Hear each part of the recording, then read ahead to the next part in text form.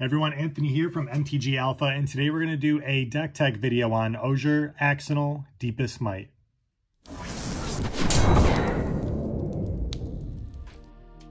Before we take a look at the newest legendary from the new Ixalan set, uh, I want to give a quick shout out to Legions of Will.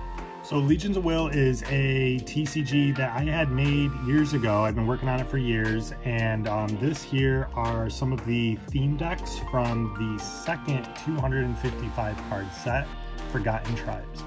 So each deck uh, contains 40 cards and three borderless base cards.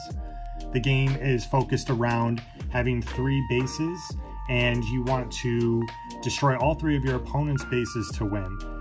Um, so within your bases, you could attach permanents. Permanents would be uh, upgrades, units, and traps. Um, here is a secret rare alternate art version of what a base looks like. This is one of two legendary bases revealed so far. Your bases produce resources to play cards and have a capacity limit and a defense that is how much damage it needs to be dealt in a single turn to destroy that base. On the back is an activation cost. You start with one base face up in the standard format. Um, otherwise, there's a skirmish format where you start with all three of your bases face up.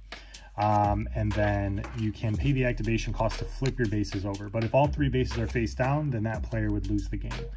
Um, here are some of the units. This is an Anatarian unit, another secret rare alternate art card with like a textured foil design to it. The card quality is amazing. And I have a third set coming out in the month of October called Journey into the Abyss, and it is a mini set. Um, so you can go on legionsofwill.com. You can buy these decks right now and this playmat in the background, which is a it's really thick. Um, so this is the Twilight Blossom playmat. So if you check out the website and want to grab some of these decks here, uh, you could use code ALPHA50 um, for 50% off anything on legionsofwill.com. And I'll even throw in some extra goodies for checking it out. And here's an upgrade, the vault, and here is a regular Hollow Legendary Angel. And it's called Legions of Will because our units here have a will cost and a power. The will is how much will um, you have to roll a d12 and that's what it would cost to attack with that unit.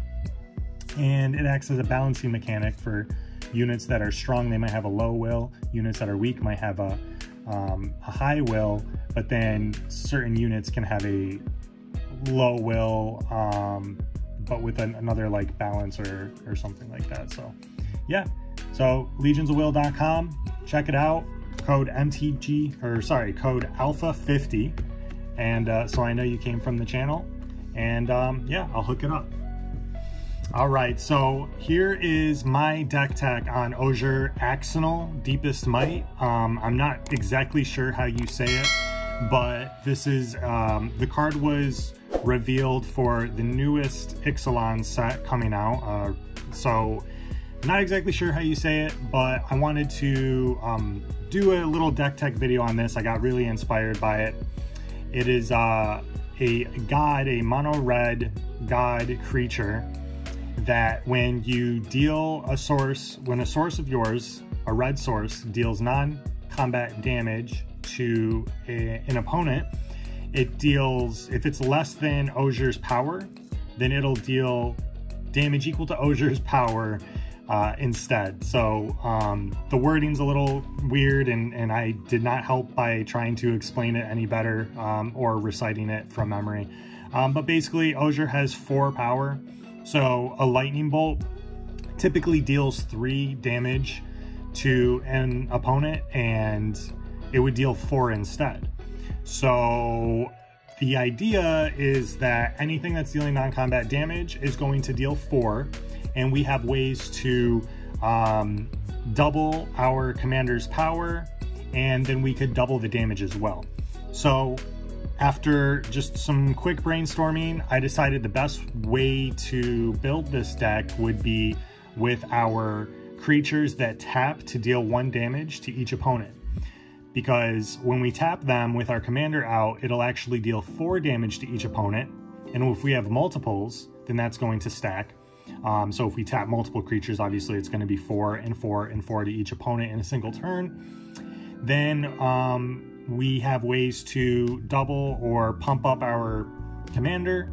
So then if our commander, we can get up to eight. Now we tap for eight. And then if we have damage doublers and triplers out, then that damage will double. So we could tap our creature and deal 16 for each one to each opponent as well, to each opponent for each creature that we end up tapping.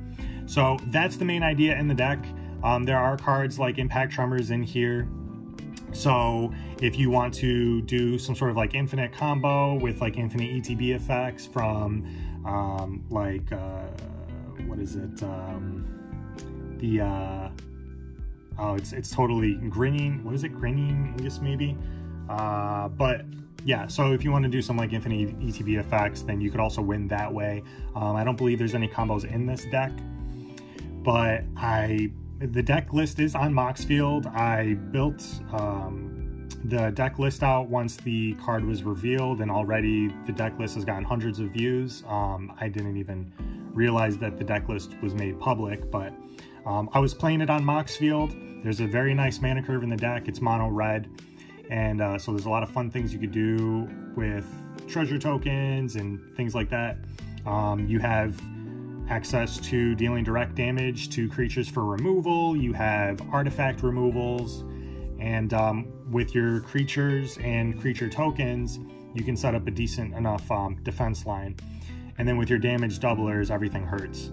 So this deck is built with creatures that tap and deal one to each opponent and there's it's also centered around devil tokens. So there's a couple cards that I'm missing that would work really well in here that is part of the deck list um, that I just don't have on hand right now. So this deck itself would be just a few cards short. Um, the most important being the Zurzoth card that um, produces devil tokens whenever an opponent draws their second card, or is it is it the first card not on their turn? But the devil tokens are great because they're little one ones that can be pumped up with other effects that we have. Their damage is doubled and tripled by other enchantments in the deck, like gratuitous violence, things like that. Fiery emancipation. Um, but then when they pop, we can keep them as a good defender, and then your opponent's going to be wary to attack because you can throw a devil in front of them, and then now that um, devil is going to be, instead of dealing one damage to any target, which includes creatures if needed, um, but it could be 8 or 16 damage to any target and preferably our opponent. So our opponent attacks, we block with the double and we're going to deal 16 to their face. Um, so from playtesting the deck on Moxfield, again, link in the description. Um, I definitely appreciate you guys checking out this video, checking out the deck list. Um, so if you want to like, like, comment on the deck list, um, like, share the video. Um, yeah, I greatly appreciate that. Uh, but yeah, this deck is absolutely so much fun. Um, I had a Torbrand deck, turned that into a Fire Song deck, and now I'm sort of split between as as my mono red quote mono red deck um, as part of like my commander decks. I'm torn between now um, this deck versus Fire Song because this deck is a lot of fun. Um, it has the potential to deal uh, about 70, like 60 or 70 damage to each of your opponents by turn six or seven. So this deck can be sped up just a little bit more. Um, if there, if you have any suggestions, definitely let me know in the comments below what you would take out and what you would add. If you want to bring this closer to a CEDH, uh, turn three, turn four sort of win, what would you add to make that possible? Um, yeah, but so let's check it out. So we're going to start off with our Planeswalkers here. So I had mentioned the double tokens. So we have Tibalt, of course. Tibalt's also great because our opponents can't gain life. So that's going to be very important in this. Um, even if this deck goes up against Oloro, I'm very confident that it'll still win uh, as with Oloro being on the, the table. At least the Oloro deck that I have built, which is now a Bilbo deck. But um, this deck would would go would easily go toe to toe with it. So that's that's actually saying something. Um, you can minus two to create a 1-1 red devil creature token with when this creature dies, it deals one damage to any target. So as we mentioned, um, we're pretty much averaging, uh, we're minimum four with our commander out, but we can very easily do eight to 16 damage instead. We have Zariel, Archduke of, and I don't know. um, but all of the abilities here are great. It only costs four to drop. You plus one to give creatures you control plus one plus O and haste until end of turn. That's going to be relevant for our creatures that we tap to deal damage. It's also going to be relevant to um, getting our commander um, higher power. So then now our creatures will tap for five. Um, we could pay zero, which is great to create a 1-1 devil token that, that's going to pop and deal 8 to 16 damage or whatever it is. And then the emblem is not bad either. You get an emblem at the end of the first combat phase on your turn, untap target creature you control. After this phase, there's an additional combat phase. Um, so the combat phases don't necessarily matter. We do have some cards that'll synergize well with that, for, but for the most part, if we can untap just one creature and just deal another 16 damage to each opponent, that could very well be enough to win the game um, if we hit that ultimate. But the first two abilities are great as is. So of course, Dockside Extortionist is going to be great because it'll create treasure tokens when it enters. Um, it'll create X treasure tokens where X is the number of artifacts and enchantments your opponents control. So that'll be great. We do have, um, you know, that'll be nice that like when later on in the game we want to just dump a bunch of mana into something, we have a few options and we'll go over that soon. So for the creatures, Lightning Rig Crew taps and deals one damage to each opponent. And whenever you cast a pirate spell, you could untap it. Uh, Dockside Extortionist is a pirate. I'm not sure how, how many other pirates are in here, but that second ability is not completely wasted. So I found myself forgetting about these second abilities because I never do pay attention to it, but pay attention, pay attention to those because there are definitely cards in the deck that'll help you untap and then therefore allowing you to tap again. And that can seriously speed up the game um, by like a turn or two. So most of these are going to tap and deal one damage to each opponent, which is going to be four with our commander, which is going to be eight with damage doublers. Or if we pump up our commander, it's going to increase, and that's going to be the main synergy in this entire deck. So we have Blister Spit Gremlin, only costs one to drop, so it's a great turn one.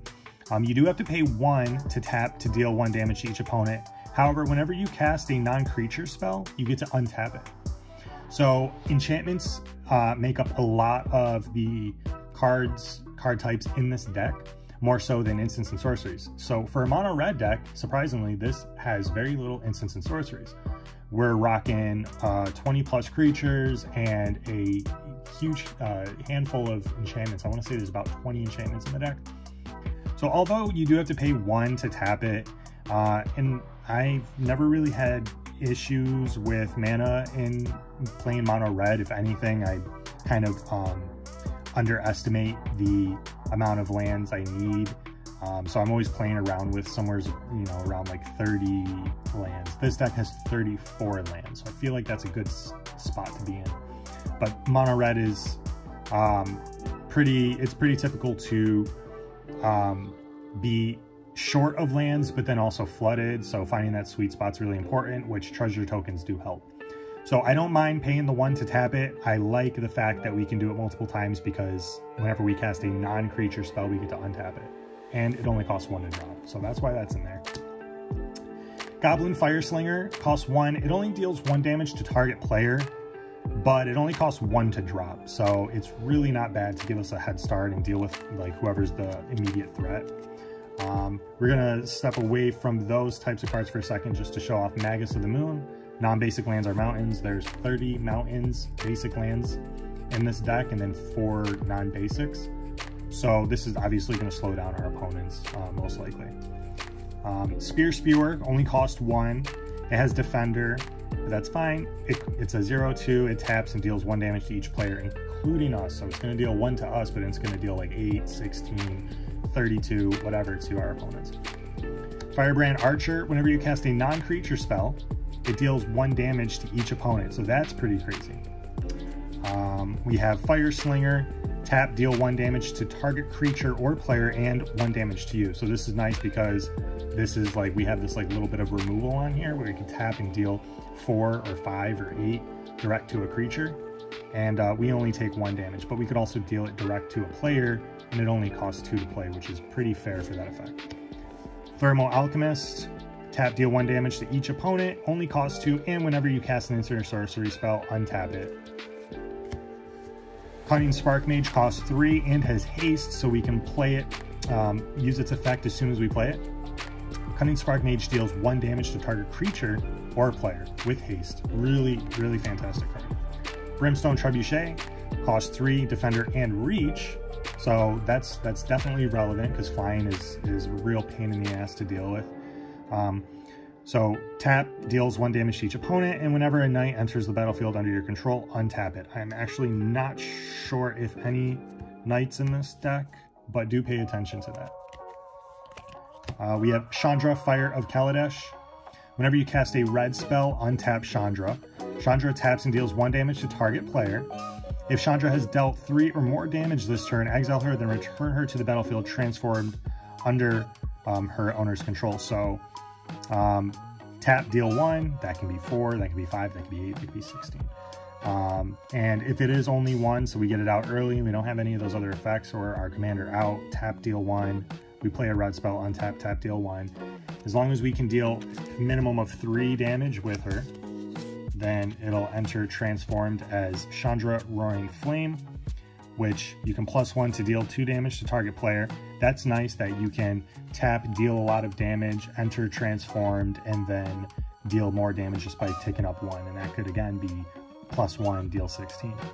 We can minus two to deal two damage to target creature. And uh, we can minus seven, deal six damage to each opponent each player dealt damage this way gets an emblem at the beginning of your upkeep. This emblem deals 3 damage to you. So I do believe that the damage has to come from a red source, non-combat damage from a red source we control. So bear in mind that sometimes the effects aren't going to work with the main synergy in our deck. And also, um, I believe it has to target an opponent.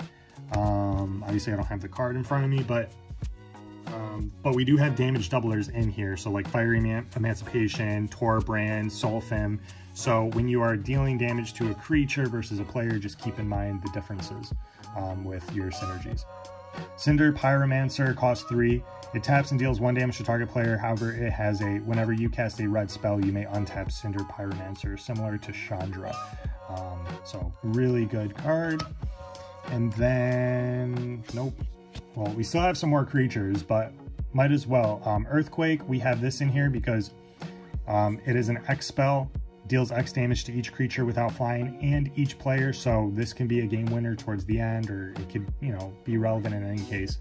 Um, so, and it gives us something to dump all of our mana into when we have it. Um, so we have Nettle Drone, has no color, so whenever you cast a colorless spell, untap Nettle Drone, and it taps and deals one damage to each opponent. So we do have a decent amount of artifacts in here, so keep that in mind. Hell Rider goes with our double synergy. Um, it is a double. It costs four. It's a 3-3 with haste, and whenever a creature you control attacks, Hell Rider deals one damage to the player or planeswalker it's attacking. Um, so we can attack with our double tokens. We're not really attacking with the creatures that um, tap and deal damage, but we can as well, and we can attack with our commander and it has haste, and so its effect will work with um, itself. Spitfire Lagac, Lagac. It costs 4, it's a 3-4, has a landfall ability. Whenever a land enters the battlefield under your control, it deals 1 damage to each opponent. That is excellent, and there's not um, a lot of things that synergize with, you know, the multiple landfall triggers, but even having that just trigger once during your turn is going to be pretty powerful. Magus of the Wheel um, costs three, pay two, tap it, sack it. Each player discards their hand, then draws seven cards. Obviously fantastic in a mono red deck because we're gonna run through our hand really quickly and we want to keep everything going. So we definitely want to draw more cards. It's a perfect way to draw seven cards while having zero in hand. Torbrand, if a red source you control would deal damage to an opponent or a permanent an opponent controls, including the creatures they control, it deals that much damage plus two instead. Solphim, if a source you control would deal non-combat damage to an opponent or a permanent an opponent controls, it deals double that damage to that player or permanent instead. You can pay one and two Phyrexian, so either two red or two uh, life for each pip. So one one red for each pip or one um, or two life for each pip. Um, discard two cards, put an indestructible counter on Solphim Mayhem Dominus. And it's a 5-4, so fantastic card. Terror of the Peaks costs 5, it's a 5-4. Spells your, it has flying, spells your opponent's cast that target Terror of the Peaks costs an additional 3 life to cast. Whenever another creature enters the battlefield under your control, Terror of the Peaks deals damage equal to that creature's power to any target. Now, most of our creatures have one power, zero power, um, two power, so it's really averaging about like one or two power. But with our commander out, it's going to make it a four plus every time. So there's some relevancy there. Ancient Copper Dragon Flying, whenever it deals combat damage to a player, roll a d20, you create a number of treasure tokens equal to the result. Obviously that's great, and we could dump all of that, um, but we could basically hoard those treasure tokens and then dump it in an Earthquake later on and win that way. This is one of my favorite cards in the deck, Mana Clash, and I love cards like this that um, are just very cheap, cost nothing, not really good in a lot of decks, but you and target, so for only one, for one sorcery speed, you and target opponent each flip a coin. Mana Clash deals one damage to any player whose coin comes up tails. You repeat this process until both players' coins come up heads at the same time. So both players are going to flip a coin at the same time. And then for each time you do that, whenever it comes up tails, that player is going to be dealt one damage. Now, we're only ever going to really be dealt one damage. Our opponents are going to be dealt that 4, 5, 8, 16, 32 damage every single time. Even 5 damage for 1, we're paying 1 to deal 5 damage. Um, could be 0 times, but it could be 3 times. And you repeat this process until both players coin comes up heads at the same time. So you both have to flip heads. It's, it's really, it's really just a lot of fun. It's a great card in this deck, Mana Clash, and uh, it costs nothing, so um, I love it. Jeska's Will, three sorcery, choose one if you control your commander. As you cast this spell, you may choose both. You can add one red for each card in target opponent's hand, which is obviously great if you want to get this out early. Um, and you can also exile the top three cards of your library. You may play them this turn. Burn Down the House works with our Devil tokens, cost 5, sorcery speed. There's a couple other cards similar to this. Choose one. I liked this though, even though it's the cost the most um, in terms of uh, CMC.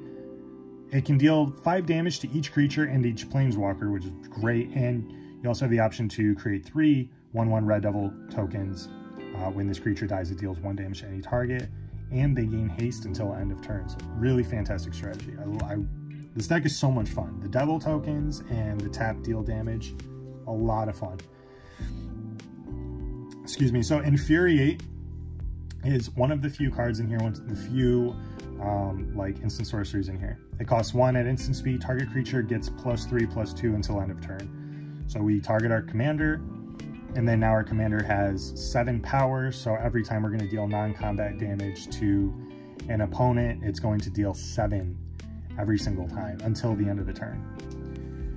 Uh, so Lightning Bolt is one instant speed, deal three, obviously to target creature or player, but now that's going to be deal five, etc. And um, but it depends on what your target is, and keep in mind Torbrand and other doublers like that. So that could work as creature removal. Spikefield Hazard, it can enter tapped as a as a land that produces red, or at instant speed, it can deal one damage to any target, and if it's a permanent dealt damage and it dies this turn, you exile it instead. Unleash Fury is a great, great, great card in this deck. Double the power of target creature until end of turn at instant speed for two. So now this is how we very easily can infuriate and then now it's seven doubled it's 14 and then so everything is tapping and dealing 14 to each opponent but then we have Torbran or like Fire Emancipation out so now we're dealing like 30 42 damage every time we tap a creature so Unleash the Fury can put in a lot of work which is great. Uh, Rush of Blood does a very similar thing um, for 3 at instant speed target creature gets plus X plus O until end of turn where X is its power. And there's very few cards like these cards. And um, they work really, really, really well in this deck. So for artifacts, yeah, we have Commander's Plate, cost one, equipped creature gets plus three, plus three, which works with our synergies and has protection from each color that's not in your commander's color identity. So every, it'll have protection from all colors except for red and you can pay three to equip your commander with it. Otherwise, you can pay five to equip it to something else um, if needed. O-Naginata costs one. is an artifact equipment, can be attached only to a creature with power 3 or greater, and it only costs 2 to equip.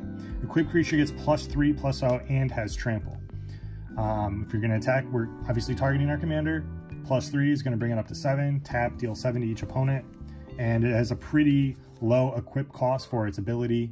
Um, the downside being that it can only be attached to a creature with power 3 or greater, but it's obviously geared for our commander here. And it'll also give our commander trample, which can be relevant. So really good card. Soul Ring, of course, Arcane Signet, Fire Diamond, Ruby Medallion, Hazoret's Monument, cost three. Red creature spells you cast cost one less to cast. Uh, whenever you cast a creature spell, you may discard a card if you do draw a card. So that would be great to just, you know, early on in the game especially, we have something that we're not, you know, willing, that we don't need within the next few turns and we're looking for something better. This can help us out. Heraldic Banner, cost three, artifact, enters, choose a color, red. Creatures you control of the chosen color, red, get plus one, plus O, and it taps to add one mana of the chosen color. Um, any of these little effects are pumping up our commander, which deals more damage. Wine of Blood and Iron costs three, and then you can pay four any number of times in a single turn. Target creature gets plus X plus O until end of turn where X is its power, so double target creature's power for four. Sacrifice Wine and Blood, Wine of Blood and Iron at end of turn. So another thing that we could dump our um, extra mana into, only costs three to play, we could let it sit there. We could pay four, you know, or if we can afford it, we can do this multiple times, double, double, double, and then actually win the game. So this is another really, really powerful card. I love its versatility. And another budget card that's probably overlooked in most decks, but in this deck, it just works out perfectly. Gauntlet of Power costs 5, enters, choose a color red, creatures of the chosen color get plus 1 plus 1. Whenever a basic land is tapped for mana of the chosen color, its controller adds an additional 1 mana of that color. Obviously this is going to affect all red creatures on the battlefield and all um, basic lands that tap to produce um, red, but it's going to be great in our deck. Now, for our enchantments, this card is excellent. I love this card. Some of my top picks in the deck, um, as you know, would be the Wine of Blood and Iron, the Unleashed Fury. Uh, Fire Whip is definitely one of the other top picks in here. It costs two. Uh, enchant creature you control. We're gonna, most of the time, I, I tend to play this on our commander. Enchanted creature has tap. This creature deals one damage to target creature or player and you could sacrifice it and have it deal one damage to target creature or player. So we can now have our commander benefit from its own ability, tap it and deal four uh, plus to direct to a player, um, or we could deal four to creature, doubled, plus two, plus three, all that sort of thing.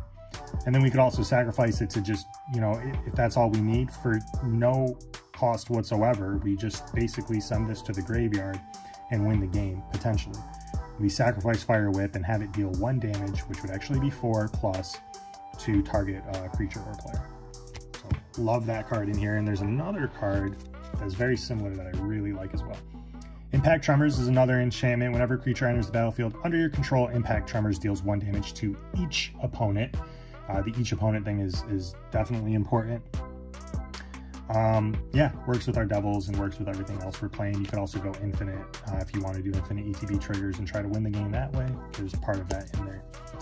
Inferno Fist costs 2, enchant creature you control. Enchanted creature gets plus 2, plus 0, and you can pay a red and sacrifice it to have it deal 2 damage to target creature or player. So it's very similar to Fire Whip, except it doesn't allow us to tap, but it does give our commander plus two plus O and itself, we could just pay one to sack it, send it to the graveyard and get that um, ability that Fire Whip has that I love so much.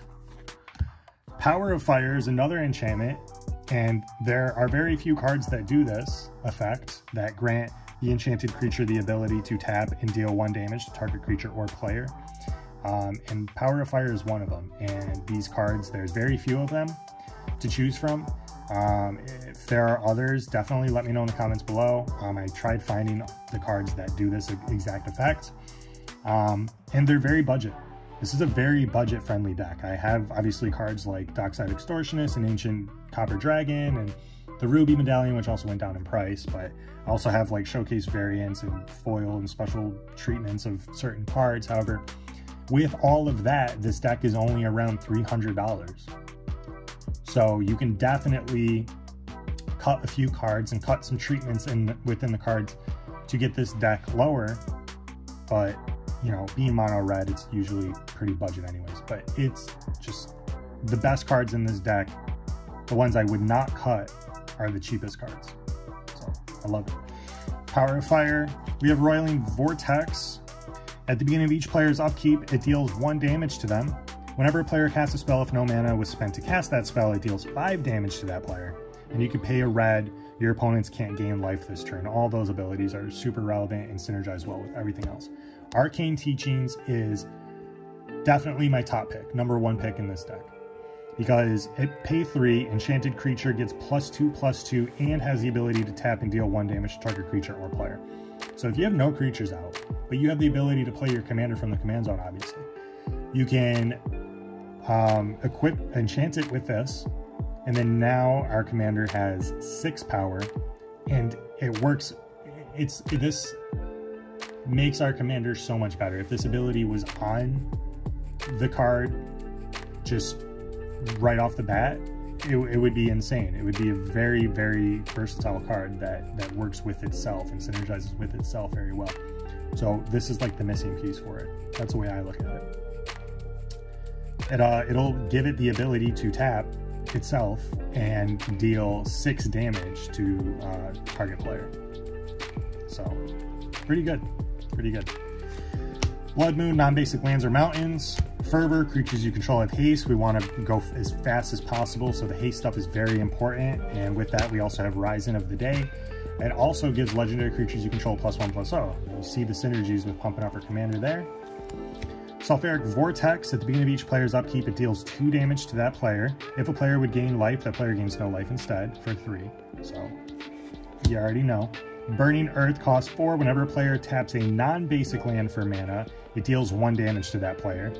And we also have, uh, we'll get to it, but that that is going to be deadly. Furnace of Wrath uh, cost 4. If a source would deal damage to a creature or player, it deals double that damage to that creature or player instead. That, that counts for all creatures and players, including yourself. Um, but it, it's really not that big of a deal. Tyrant Negotiations costs 4. Tap an untapped creature you control. This deals 1 damage to target player. This gives all of our creatures, our devils, our um, Terror of the Peaks, our commander, it gives all of them the ability to tap and deal 1 damage to target player. It's crazy, crazy, crazy, crazy. I almost considered taking this out, but then I was like, wait, why would I do that? This is like a like an enchantment. This is like power of fire for everything. It literally just gives everything Power of Fire ability for four. So, super fun. Mana Barbs. Whenever a player taps any land for mana, it deals one damage to that player. And again, we know how easily we can have our um, commander get up to 7 or 14 or, or 12 or 8 or 16. So anytime a player taps a land for mana, you're going to take 16 damage. It's that's like you you just win the game for having this out and having your your commander be pumped up to like seven and you have one damage doubler out or something. Um, and i've play tested the deck on moxfield just running hypothetical scenarios. I'm sure you're all familiar with that. Um, but uh, just i've played probably 15 or 20 hypothetical games and it's this card is just so insane so consistent Dictate of the Twin Gods, Flash for 5. If a source would deal damage to a permanent or player, it deals double that damage to that permanent or player instead. Again, this is all sources. It's, it's uh, Furnace of Wrath, but for one, it has Flash. Gratuitous Violence cost 5, 2, and 3 red. If a creature you control would deal damage to a permanent or player, deals double that damage to that permanent or player instead. So now we're um, isolating its effect to creatures we control still doubling. Fiery Emancipation costs 3 and 3 red. If a source, any source you control, would deal damage to a permanent or player, it deals triple that damage instead. City on Fire is the same um, effect. It deals triple that damage. And it costs 8 though, which is 2 more than Fiery Emancipation, but it does have Convoke, so we can help reduce its color um, colorless cost to cast it. And yeah, for the lands, we have our non-basics, Castle Embereth. Um, enters tapped unless you control a mountain. It taps to add one red. You can pay three to tap and creatures you control get plus one plus zero oh until end of turn, which is very relevant. That extra one helps, especially for doubling or tripling it or dealing damage from multiple sources multiple times in a single turn. So that's why that's in there. We have Forgotten Cave. In case we get flooded, we can cycle it for a red and draw a card and discard it. And then we have our, uh, oh, actually, no, we have a couple more non-basics. Like, where are, where are those? Spinerock Knoll, Hideaway, when it enters the battlefield, look at the top four cards of your library, exile one face down, put the rest in the bottom in any order. So this allows us to kind of like, you know, dig a little deeper in our deck. And then it can tap and add a red, or you can pay a red, tap it, and you can play the exiled card without paying its cost if the opponent was dealt seven or more damage this turn. Very easy to pull off. And then War Room taps for colorless, pay three, tap it, pay life equal to the number of colors in your commander's color identity, which is one. So pay three, um, tap it, pay one life, and then draw a card. And then we have our 30 um, basic lands here. We have some basic snow lands, just kind of cuz. And then um, we just have our typical basic lands, our typical mountains. So there's um, just a few cards missing in this deck. The full deck list is in the link in the description. You can check it out, check out the mana curve, give it a play test, like the deck list, uh, comment. Um, and yeah, if you like the video, like, share, subscribe. Greatly appreciate it. We're almost to 800 subscribers, which is absolutely insane. Um, again, I'm, I'm kind of doing this as like a creative outlet and um, just uh, I, I just like building decks. So I really appreciate you guys checking this out. And um, let me know what cards you would add, take out. Um, yeah, that's it. Until next time. Peace.